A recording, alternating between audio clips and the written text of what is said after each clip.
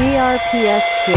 Mga higala, abri na karon ang Tubigon Vehicle Inspection Center, ang pinakabagko nga private motor vehicle inspection center or PMVIC sa Bohol. Kung kamo nahimutang dapit sa norte sa Bohol sama sa Talibon, Hetafe, Inabanga o Clarin, dili na mo kinahanglan mo adto pa sa layo para magpa-emission o inspection sa inyong mga sakyanan. Doon rasad kini sa mga Tagaloon, DRPS2. Kalapit, San Isidro, Katigbian o Carmen sa barato na presyo. Ma-emission o inspection ng inyong sakyanan pinaagi sa PMVIC nga gi-required sa DOTR. Aron kani maparehistro sa LTO. Busa, adto na ta sa Tubigon Vehicle Inspection Center. Nahimutang sa National Highway sa Barangay Kahayag, Tubigon. Tuol ra sa merkado ug tapad ra sa gas, petrol station. DRPS2.